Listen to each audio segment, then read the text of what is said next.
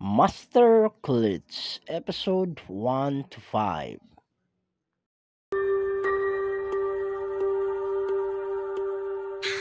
In one of Twitchy Media's live streaming rooms, a young woman wearing a bunny girl outfit was dancing seductively in front of the camera while exposing an increasing amount of her cleavage. Soon enough, numerous appreciative comments flooded the screen. Damon Hemsworth clutched his phone so tightly that the veins on his hands were visible. He was furious because the woman who was exposing her body on the screen of his cell phone was his girlfriend, Jessica Wilson. Although Damon had always known that Jessica was a live streamer on Twitchy Media, she had told him that she only streamed herself singing and dancing. How could she be so slutty in front of everyone? He thought, appalled. Before he could call and confront her, notifications started appearing on the screen, announcing gifts and donations that her fans were sending her. One of the messages stood out among all the others. Hillwood Noah Hudson sends $1,000. An instant later, another notification popped up. Hillwood Noah Hudson sends another $1,000. After the messages announcing such generous donations, the screen was instantly filled with comments. Bro, you must be rich. Wow, this guy has way too much money. Jessica smiled broadly and bowed. Damon couldn't figure out whether she was doing it to intentionally show off her cleavage. Thank you, Noah, baby. I love you the most. As Damon watched his girlfriend publicly flirting with another man, it felt like his self-esteem was being trampled. And it was even more difficult because he actually knew who the man was. Noah Hudson was a rich kid who went to Hillwood University with Damon and Jessica. But however shocked Damon already felt, the next words that appeared from Noah on the screen dropped an even bigger bombshell. I've already seen you performing like this in front of me in the hotel room. You have to give me something more exciting right now, or I'll leave. Damon felt his stomach drop, and he started to tremble with anger as he read the new comment. What hotel room is he talking about? Did Jessica cheat on me? He wondered. He knew his girlfriend was charming and attractive, but she had always seemed so honest and responsible. How could she be sleeping with another guy behind my back? He could no longer stand to look at the screen, so he took out his phone and called Jessica. He was shocked by her words and the impatient tone of her voice as she answered the call. Why are you calling again? I said I'm not interested in whatever you're trying to sell, so give it up already. I'm busy. After hanging up without letting him speak, Jessica continued with her live show, and she became even bolder than before. She pulled down the neckline of her already low-cut outfit, revealing even more of her cleavage to please her audience. Almost instantly, the number of gifts and donations from the viewers increased. Damon clenched his fists tightly. He had given Jessica three months of his hard-earned savings to purchase the latest smartphone, the very phone that he had just called her on. How dare she treat me like some cold caller? He fumed, but what surprised him even more than the way she had treated him was that Jessica could act so unscrupulously in front of her fans just to earn some extra money. Another comment appeared from Hillwood Noah Hudson. Jessica, you can end your live show now. Since there's a limit to the things you can do in the public stream, let's do a private video call instead. When he saw Jessica end her live stream as Noah had instructed her, Damon's heart sank to his stomach. How could she? Damon felt deeply hurt as he witnessed the betrayal unfolding before him. Outraged comments began to appear on the screen. Did our goddess just end her live show? Noah, please share the video with me. Noah Hudson, don't you know that sharing is caring? You've got to remember your other brothers here. Damon grew increasingly furious as he read through the lecherous comments on Jessica's stream. He felt ready to kill the men who were lusting over his girlfriend. Before he could figure out what he should do next, he received a text message from Jessica. Damon, I want to break up. I don't love you anymore. We're just not right for each other. Damon slammed his fist on the table. He was incensed. All she cares about is money. He thought. Looking back on his relationship with Jessica, his impression of her changed completely. Without the benefit of rose-tinted glasses, he realized that her relentless vanity had led her to care about nothing but buying high-end designer products that were way out of their price range. As her boyfriend, Damon had tried every means he could to fulfill her wishes, but now he was finally realizing that her craving for luxury goods was a bottomless pit that could never be satisfied. A few hours later, once the worst of his rage had started to abate, Damon realized that he was hungry. Unfortunately, he knew he had no money left to buy food until his next paycheck at the end of the month. He had spent all his savings and more on Jessica's phone. Feeling helpless, he sighed heavily and decided to go to the local supermarket to try and get some free food samples. As he walked toward the store, Damon realized that someone was following him. For a crazy instant, he wondered whether Noah had sent someone to warn him off Jessica. But when he glanced over his shoulder, he saw an elegant man in an expensive suit looking him up and down. Damon stopped and turned to confront the man. Why are you following me? The man smiled as he pulled a photograph out of his jacket pocket and compared the likeness to Damon. After a few seconds, he breathed a sigh of relief and said in a respectful tone, Sir, I've finally found you. You are Damon Hemsworth, correct? Damon was taken aback. He shrugged awkwardly. That depends. What's going on? Is this some prank? Who put you up to it? The man replied hastily. Sir, I can assure you that this is not a prank. My name is Thomas Hale, and I'm your father's personal assistant. He asked me to come and speak with you. Damon was shocked. He replied cautiously. Well, I'm Damon Hemsworth, but I don't have a father. His mother had always told him that his father was a scumbag who had left them when Damon was young. She insisted that he shouldn't even think of him as his father. But things were about to change. The truth is that Mr. Hemsworth was forced to abandon you and your mother. It was not his choice. He had to take on his family business, so he had no option but to leave you. Now, he sold part of the business, and he wants to send you some money to help with your expenses. As he spoke, Thomas took his phone out of his pocket and started tapping at the screen. Wait, you're telling me that my father had to leave to take care of his family business? He had another family he should have taken care of. He left me and my mom. I no longer consider him my father. The next moment, Damon got an alert on his phone. Your bank account has received an instant transfer of 100 million American dollars. Your balance is now 100 million dollars and 3 cents. Damon was dumbfounded. He kept checking that he had read the message correctly. He checked his online account, then called the bank, and everything confirmed that he had actually received $100 million. How can this be real? Thomas had been waiting patiently while Damon processed the news, and he took this as his cue to speak up again. Mr. Hemsworth is doing very well. He plans eventually to come back to you after he's finished sorting out the Serafino family's business. He's also instructed me to ask you to do two things. The first is that you should try to keep a low profile for now. And the second is to ensure that your mother doesn't suffer from any more hardship. Damon's jaw dropped with this new information. It was already shocking enough to think that his father was a billionaire, but he couldn't work out what the man could possibly have to do with the Serafino family.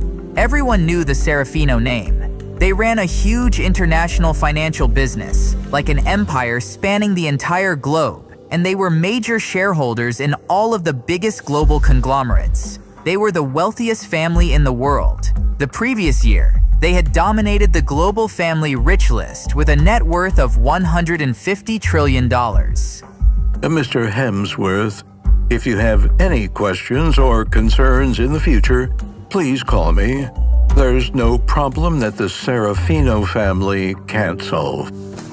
He handed Damon a card with his phone number on, and then handed him a bank card and a key with the address of a mansion in the city center.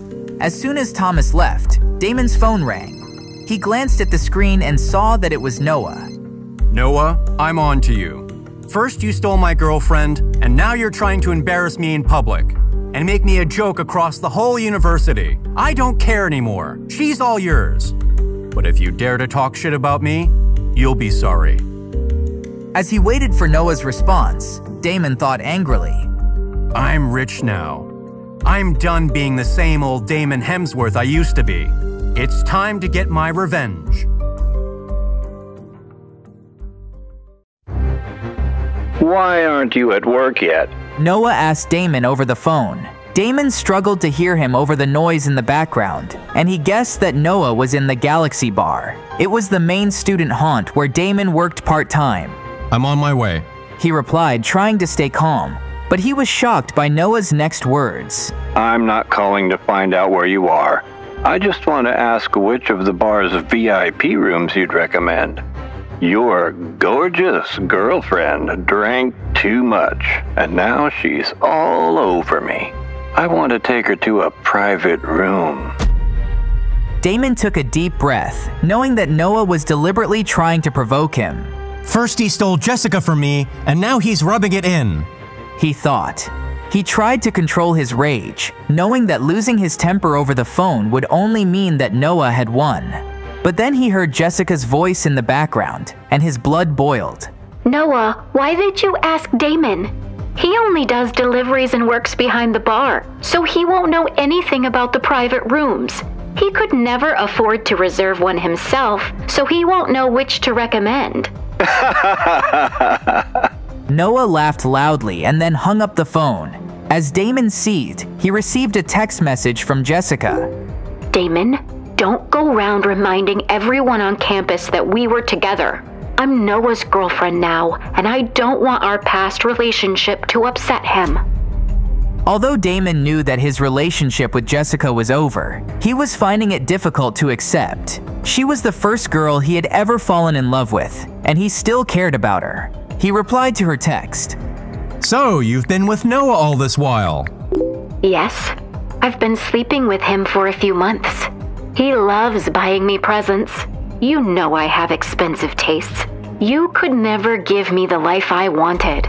Damon was so angry that his whole body was shaking, but Jessica blocked his number before he had a chance to respond. Fuming, he thought about how she had never really given their relationship a chance.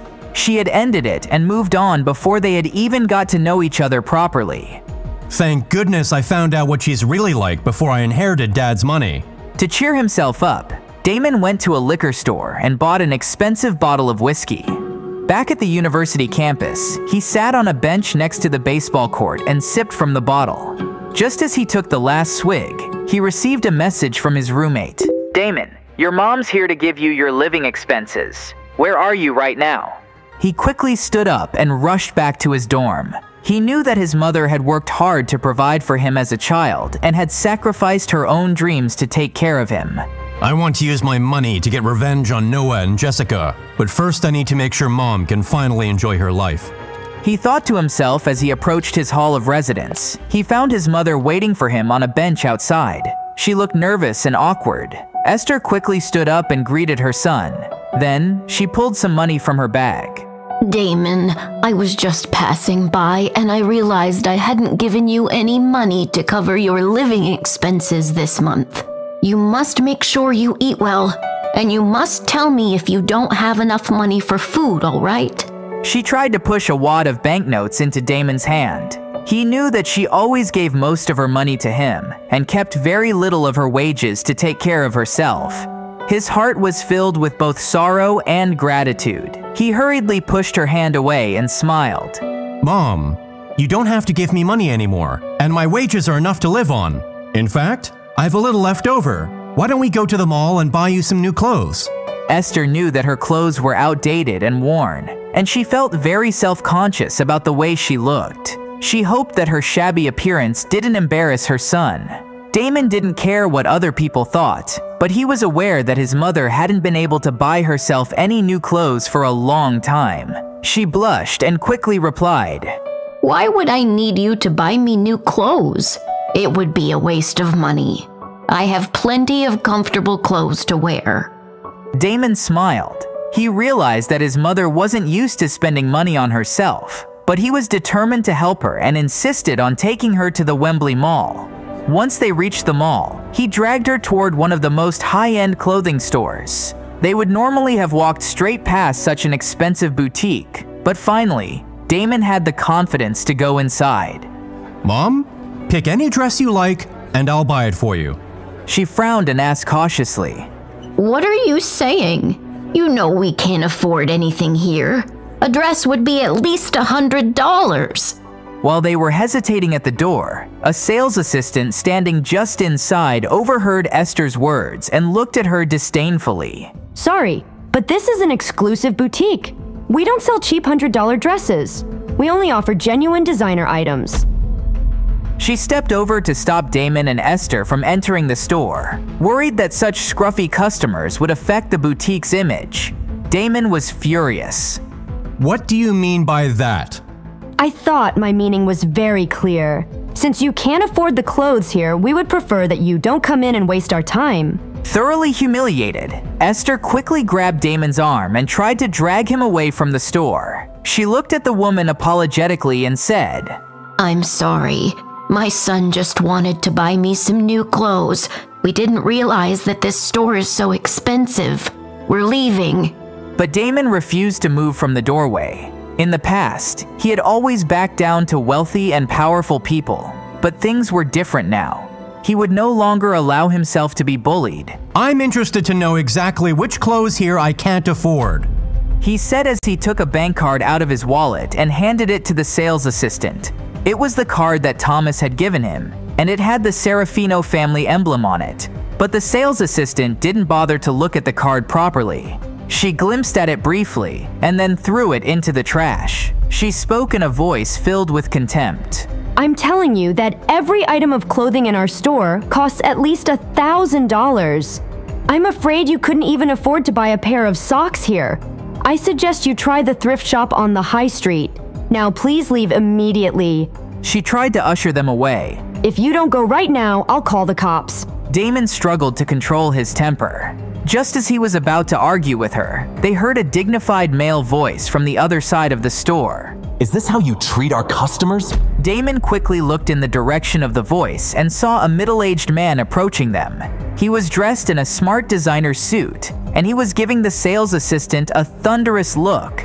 The woman suddenly looked alarmed. Her face drained of color as she turned to greet the man. Damon was astonished at the change in attitude of the haughty sales assistant. I've never seen anyone look so terrified. Why on earth is she so scared?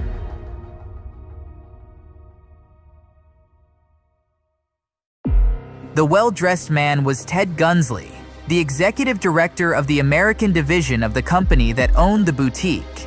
He rarely visited the store in person, and the sales assistant was stunned to see him. Mr. Gunsley, it's such a pleasure to see you. To what do we owe the honor? Is there anything I can help you with? Ted stared at her coldly and asked, Miss Amersham, were you not told in your training that all our customers are VIPs? Is that really the way you treat VIPs? The sales assistant, Lucy Amersham, was so focused on finding a way to exonerate herself that she didn't appreciate the gravity of her situation.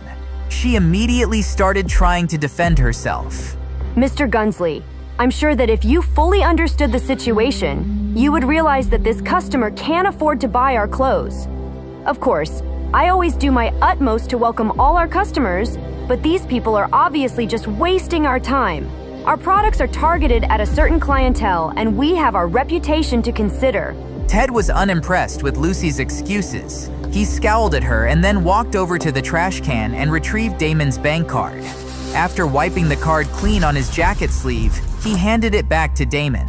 Lucy was appalled, and she felt ashamed of the director's actions. His suit was worth tens of thousands of dollars, but he had actually taken the card out of the trash and wiped it on his own sleeve. As Ted handed the card to Damon, his expression instantly changed. He looked at the student with an expression of disbelief and asked, Is this card yours? Damon nodded to confirm that it was. Lucy was feeling increasingly anxious and she rushed to interrupt. I'm sorry, Mr. Gunsley. I know I shouldn't have thrown this customer's bank card away, but he was refusing to leave, and I was starting to lose patience with the situation. But Ted had heard enough. He turned to her and shouted angrily, Enough! Go and make coffee for our two customers. And don't even think about asking for a performance bonus this year. Of course, if you don't like my decision, you can always quit. After handing the bank card to Damon, Ted still felt uneasy. He had only recognized the card because he had spent so much time attending corporate dinners with some of America's top executives. He thought, Thank goodness I arrived when I did. If someone like this had been insulted in one of their stores, the head of the company would certainly have heard about it, and my job could be on the line. Sir, welcome to our store. Please choose any item of clothing you like, and it will be our gift to you by way of an apology. Damon knew that Ted had recognized the bank card in his hand, and that was the reason he was trying so hard to appease him. He shook his head and said, If I want anything, I can pay for it myself, but it seems that we're not welcome in your store. Ted flashed him a smile. Although he was usually very calm, he could feel himself starting to perspire. He knew he couldn't afford to offend the young man standing in front of him. He quickly retrieved two cards from his wallet and handed them to Damon and Esther. Please accept these gold member cards. They will entitle you to various benefits at all of our stores. I hope you weren't too offended by Miss Amersham's behavior. I would like to apologize for her rudeness and assure you she will be dealt with. Damon felt much better when he saw how hard the director was trying to make amends. It was the first time anyone had ever treated him with so much respect. Do you actually know who I am? Ted shook his head, thought for a moment, and then answered. I'm really sorry, I don't I don't think our paths have crossed. However, I do recognize the bank card that you're holding. Damon nodded his understanding and then looked at Lucy, who was clearly starting to panic. He felt that he didn't have the time or desire to avenge such a small grievance and decided not to pursue the matter any further. There's no need to get a lowly employee like her fired, he thought. She probably depends on this job for a living, so it would be ruthless to act too harshly. As Damon and Esther walked away, Lucy looked up at Ted with a pleading expression. Mr. Gunsley, who exactly was that young man? She had worked in the store for many years, but she had never seen her director treat anyone with so much deference. Ted glared at her and replied coldly, You're very lucky he didn't want to make an official complaint. It might even have led to the closing of this store. Don't you know that you can't judge a book by its cover? I don't know the identity of that young man, but I recognize the bank card he was holding, and I can assure you that very few people will ever be in a position to afford one of those. Lucy was aghast. She could scarcely believe what she was hearing, but one look at his expression convinced her that he was serious. After buying some clothes for his mother at another store, Damon took her for a meal at a nearby restaurant. Then, he called a taxi to take her home. After he waved her off, he headed back to campus. On his way, he turned on his phone to discover that the class group chat was buzzing with messages. Following the comments on Jessica's livestream, everyone knew that she had danced specifically for Noah and had then arranged to meet him in person. Everyone at Hillwood University now knew that Jessica had dumped Damon for Noah, and they were busy speculating about why. Most assumed that Jessica saw Damon as a poor, useless loser who couldn't give her what she wanted. As Damon was skimming through the comments, he received a message on his phone from Noah. Are you still coming to work today? If so, pick us up some condoms on the way here. I've promised Jessica a special reward for being the top streamer on her platform, but I don't want to get her pregnant. Fuming, Damon logged onto Jessica's live stream. To his surprise, he found that she was doing a pole dance live on screen. She does have a perfect body, and she knows how to show it off with sexy lingerie. He watched for a moment as the appreciative comments, gifts, and donations rolled across the screen. Noah was also clearly visible standing behind Jessica in the live stream. If she had still been his girlfriend, Damon would have been furious with her for allowing one of her admirers to be in the room with her. Damon could finally see exactly what Jessica was capable of. I'll get my revenge. He vowed once again. In a private room at the Galaxy Bar, Jessica was performing a seductive dance and streaming it on her live platform. When the music finished, she walked up to Noah, put her arm around his neck, and kissed him passionately. Her streaming profile was going crazy, with comments flashing across the screen almost too quickly to see. Then, in full view of her fans, Noah casually picked up his phone and sent her a gift of $1,000. That was more than a month's living expenses for most students, but it was merely pocket money for him. Appreciative comments flooded onto Jessica's profile. Noah, you're so cool. You've donated almost $5,000 this week.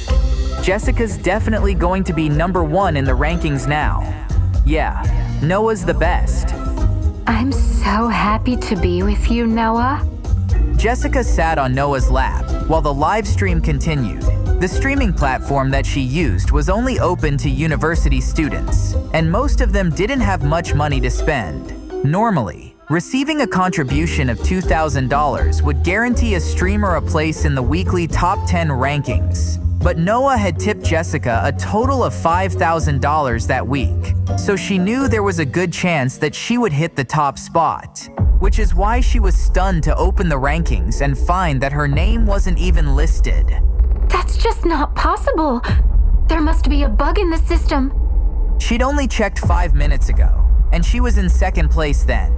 She hastily opened the profiles of the top 10 ranking streamers and discovered that they had each received a donation of $10,000 in the last few minutes. Scarcely able to believe it, she showed Noah her phone. What'd she do? Their tips are way above mine. Noah waved his hand indifferently, indicating that it would be no problem at all for him to help her get back into the top 10. He was the richest student at the university, and he knew no one could afford to compete with him. When he saw how upset she was, he sighed and said, Don't worry, I'll help you boost your ranking. I'll make sure you get to the top. Then, he pledged a donation of $15,000 on Jessica's profile. She grinned gratefully, but before she could relax and enjoy her glass of wine, the rankings on the list changed again. She was only in the number one spot for a matter of seconds before quickly dropping back out of the top 10. When she studied the list again, she found that each of the top 10 streamers had received another incredible donation, this time of $30,000 each. What the hell's going on? Jessica wondered desperately. Noah was also surprised. He opened the top 10 list and quickly ascertained that the recent contributions to the other streamers had all been donated by the same person. He scowled as he read that person's username, no top 10, for jerk and bitch. Jessica and Noah instantly thought of Damon when they saw the username, but they looked at each other and shook their heads in unison. Oh, Damon would love to do something like this. But there's no way a loser like him could afford it. Did you offend anyone else? Noah was so angry about the mystery viewer that he ignored her question. Who would dare mess with me? right, you bonehead. Do you really think you can compete with my money? Well, there's plenty more where that came from. Before Noah could act on his words, everyone in the top 10 list received an additional donation of $50,000. Noah would have to tip Jessica at least that amount to get her back into the top 10. Jessica shrieked when she saw it. Noah, you have to help me. I promise I'll do anything you want to pay you back. As she kneeled down by his feet and looked up at him with pleading eyes, Noah sighed deeply. Even for a rich kid like him, $50,000 was a considerable amount of money. He hesitated and then said, Jessica, why don't we just forget it this week and try again next week? I'm sure you'll get to number one then. Why should I give her so much money? Just so she can get her name on the top 10 list? He thought grumpily. I'd much rather spend the money enjoying myself. He also realized that the person making the huge pledges to the other streamers was deliberately competing with him. If I give Jessica $50,000, the other person will just increase the stakes again. He thought. Jessica also knew that she was asking for a lot of money from Noah, but she had already boasted on social media about getting first place. She knew that a lot of her competitors despised her success and were waiting to see her fail. If I don't at least make it to the top 10, people will call me a worthless loser. She thought. Noah, can you please? She started to beg, but Noah had made his decision and he didn't let her finish. No, that's enough. You should go home now, and I'll come find you later. He turned his back on her and walked into the main bar. Jessica followed him. His meaning was implicit in his words. He was losing his patience with her. Jessica knew that without him, she would never get into the top 10 list and that she shouldn't risk irritating him. I worked so hard to get him. She thought. I can't offend him now, or it will all be for nothing. Realizing she had no choice, she forced a smile and spoke meekly. Of course, Noah. If that's what you want, I'll wait for you in my room. Meanwhile, Damon had arrived at the bar. He had watched everything that happened on Jessica's stream, and he smiled to himself when he saw her leaving the bar alone. He could guess exactly what had happened between her and Noah. Noah glanced in his direction and noticed him immediately. Still fuming about being humiliated on Jessica's livestream, he was ready to vent his anger on someone, and Damon seemed like the perfect victim. Oh, good, you're here just in time. So, where are the condoms I asked you to bring? I hope you brought them. I don't want to make your woman pregnant. Damon scowled but said nothing. Noah shook his head complacently while he pulled out a handful of money and waved it in Damon's face. Come on, you jerk. Are you waiting for me to pay you a delivery fee? Just give me the condoms and get lost. As he spoke, he scattered the money all over the ground in front of Damon, who watched his performance with growing fury and contempt. In the past, Damon's poverty had cost him his dignity. But I'm not the same man I used to be. He reminded himself. Why don't you get out of here? Noah picked up a glass from the table and threw wine all over Damon's face. Get lost, jackass. By the way, that glass of wine cost $50. You should be thanking me for such a treat. Now stop making a fool of yourself and leave. Damon seethed with rage. I'll make sure he pays for the way he's treated me. He promised himself. He stood threateningly close to Noah, making it clear that he wasn't going to back down. Two minutes. Damon calmly pointed toward the exit. I'll give you two minutes to get out of here. Noah was stunned and decided he must have misheard him. After thinking for a moment, he chuckled. Dude, are you on something? Are you high? Did you really just tell me to leave? I think I must have heard you wrong. I said, get out of here. Right now. Noah threw his hands up to the sky and laughed loudly. He then pointed at Damon. Who the hell are you to order me to leave? Have you got brain damage? I spend thousands of dollars in this bar every year, so why would I leave? Damon walked to the stage and picked up a microphone. After clearing his throat, he made an announcement. Hey everyone, please quiet down for a minute. I have something I want you all to hear. The bar instantly fell silent as everyone wondered what Damon was going to say. He had worked at the Galaxy Bar for a long time, and the regulars all knew him. Most of them thought he was a kind person, but that he was also shy and lacked self-esteem. They never would have imagined him standing on stage and making announcements to the whole bar. Stop now. The bartender urged Damon in a low voice.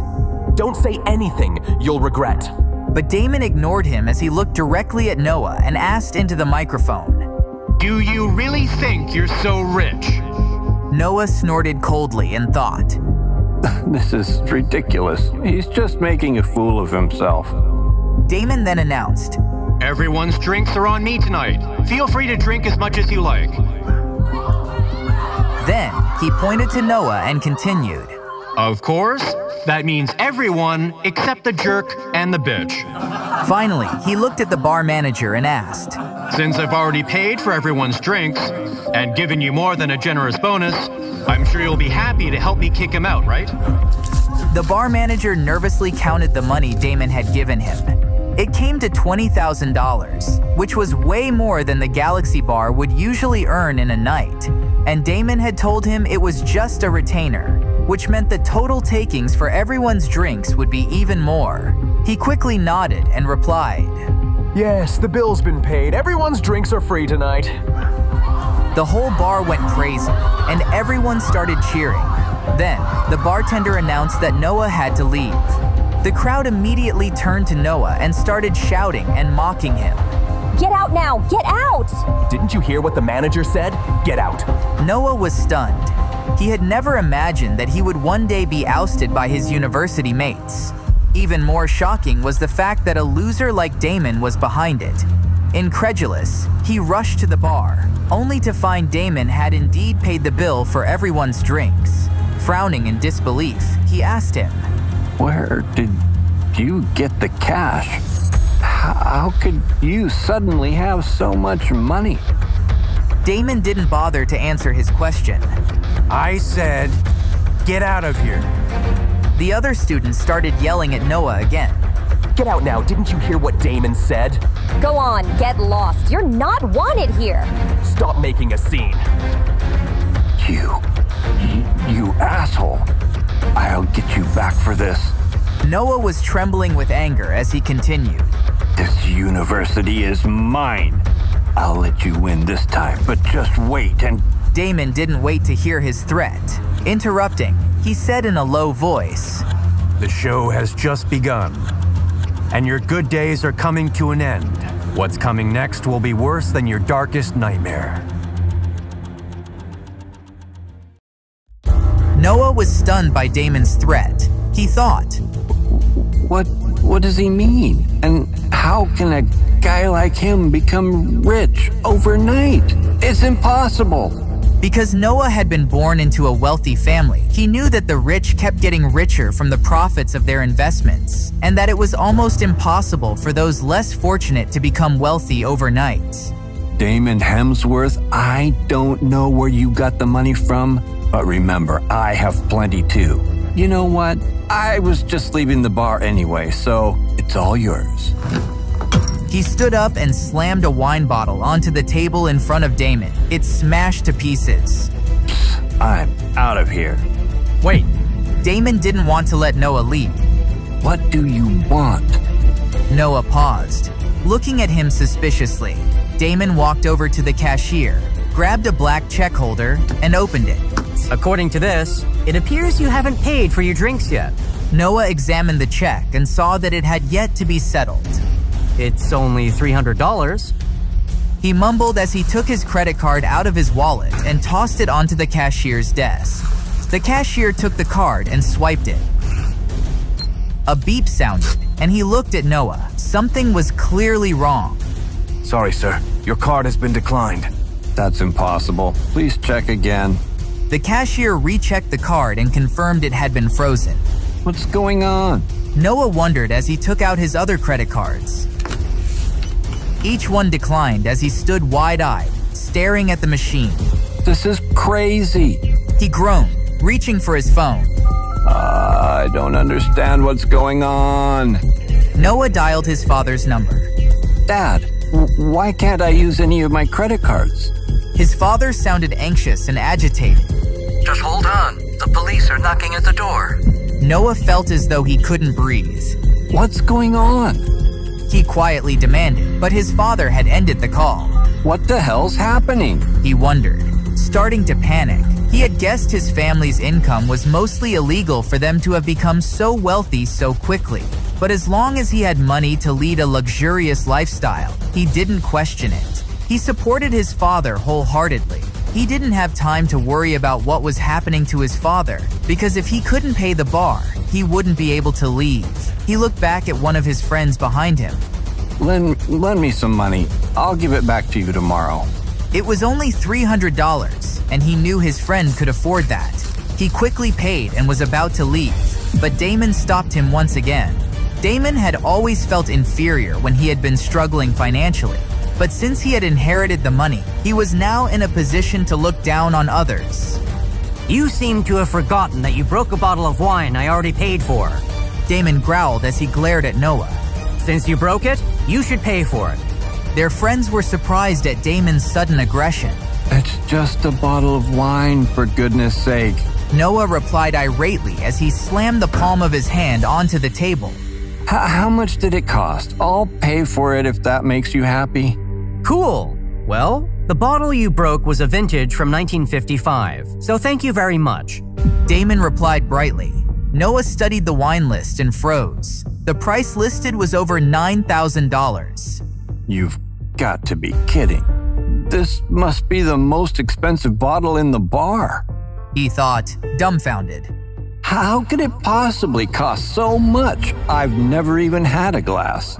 Excuse me, sir. Damon said to the bartender, interrupting Noah's thoughts. I just want to know how my friend here should pay for the wine. The bartender looked up at Damon and politely smiled. He treated Damon with respect because he was paying for everyone's drinks that night. Don't worry about that. We have several ways of collecting what's owed to the bar. Noah's eyebrows shot up in disbelief and his mouth hung open. What the hell do you mean by that? He angrily demanded. I wasn't the one who ordered the wine in the first place. Do you know who you're talking to? I have no idea who you are or how influential your family is. The bartender snorted in return. But what I do know is that you need to pay for the wine. And if you don't, I'll deal with you. As he said that, he leaned forward and threateningly poked his finger toward Noah's face. If the amount isn't settled within three days, we'll be on your doorstep expecting payment in full. Noah backed away and glared at Damon. Never had he thought Damon would treat him like that and publicly humiliate him. You could always work here at the Galaxy Bar until the debt is paid in full. Damon coldly mocked and then snickered. He was enjoying Noah's discomfort. He knew that Noah had deliberately stolen Jessica from him and shamed him in front of his friends. But the tables had turned, and it was Noah's turn to be humiliated. Just wait and see. Noah roared as spittle flew from his mouth. huh? What do you want me to wait and see? Your father has been arrested for fraud because he stole $30 million from his investors. He has a life sentence waiting for him, and without your daddy, you're nothing. He couldn't believe that all it had taken was half an hour to bring the Hudson family to its knees. It feels too good to be true, he thought gloatingly. That's bullshit. Noah shouted in disbelief. Damon took another bottle of vintage wine from the bar. He broke it on the counter and poured it over Noah's head. Remember how this tastes. It's the last good wine you'll ever have. After he had emptied the bottle over Noah, a group of drinkers who had been watching the goings-on decided to get involved. They threw the rich kid who had fallen from grace out of the bar as though he was a drunk who couldn't pay his bill.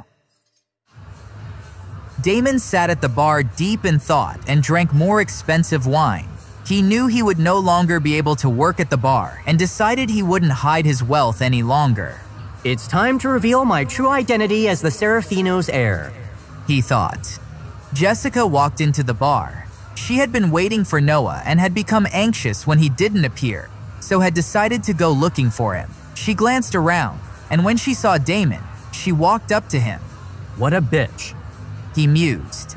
She had been a goddess to him before the incident, but at that moment, he saw her as nothing more than a money-grabbing slut. He knew she would do anything for money. He felt like chucking a handful of banknotes into the air just to mess with her head, but at the last moment decided against it. She's not worth the bother, he thought. As she approached Damon, Jessica's eyes became slits. Where's Noah? He's gone, Damon replied, then turned his back on her. She didn't look one bit happy with him. Why are you sitting at the bar drinking? I thought you loved me so much that you would do anything to earn enough so we could have a family together. But it looks like I was wrong. All you're doing is wasting what little you have. Damon couldn't stop himself from smiling. If she saw a wealthy man drinking at a bar, she would be all over him. But when I have a drink, it's a waste of money. What's wrong with me using my own money to have a drink? Isn't it better than Noah who uses his father's money? She scowled at his response. What's going on with him today? She wondered. Really? Did you use your own money? Just be a man and admit that you stole it. Your mother would be ashamed of you. As she still hadn't seen Noah, she grabbed her purse and started to leave the bar. Damon looked at her in confusion. What do you mean? Damon Hemsworth, you're such a dumbass. I was an idiot to fall in love with you. You stole Alicia's money and bought clothes for your mother. I can't believe you still have the audacity to come here and drink. Just because Alicia's family is rich, it doesn't mean you should steal from her. He was blown away by what she said. She thinks I stole the money. I would never do that. He thought, perplexed. Alicia Mendez was Jessica's best friend. And after Damon and Jessica fell in love, she hmm. did everything in her power to persuade Jessica to stay away from him. Every time Alicia saw Damon, she seemed to be impatient and irritated. Alicia clearly had a poor opinion of Damon. He was aware of how Alicia felt about him, and he didn't talk to her anymore. But no matter what she thinks about me, I didn't steal from her. He thought. As Jessica left the bar, he took his phone out and called Alicia. Damon Hemsworth. What an unpleasant surprise. Why is a thief like you calling me?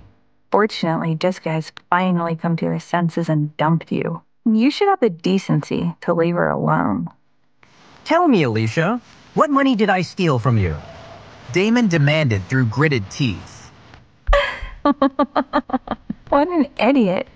I have nothing to say to you because your mother has already returned the $2,000 you stole. My mother? He thought, feeling stunned. My mother doesn't have that kind of money. When Esther had gone to the university and tried to give him his living expenses, he noticed she only had around $200 in her purse.